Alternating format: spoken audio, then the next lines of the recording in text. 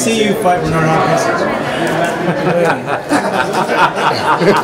Because he, he's, he said like he doesn't want to fight you. You know, he said that, and you know, fans would be like, well, he's saying that because he knows he can't beat Andre.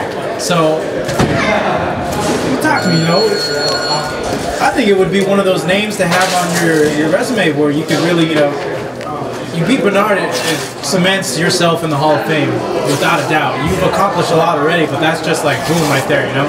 Talk to me a bit about that. I mean,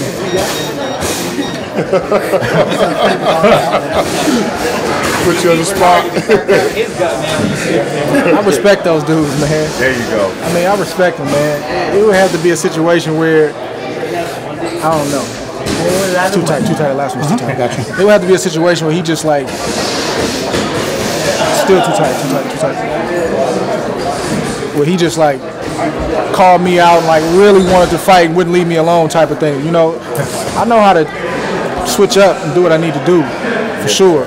But I respect the dude, man. I grew up watching this dude. And I know how to turn it off and go do what I got to do. And I agree. I think that'd be a pay-per-view fight. You know, you got a guy who's the, the old master, and you got a young guy who's trying to become a master. It's just a, it's a huge storyline. But if he says, you know, I don't want to fight her, it's not a fight that I want. I mean, you know, what do I look like trying to chase it and call him? I mean, I'm just not that type of dude. Honestly, I'm more interested in fighting the guys in my era. You know, making my name within my era. And I respect B Hop, man. I'm not. I respect the dude, man. He got a lot left in him too. Yeah, it does. That's why I'm asking. He's got a lot left in him. Great, you got to beat the You gotta beat, you gotta beat the Grace. But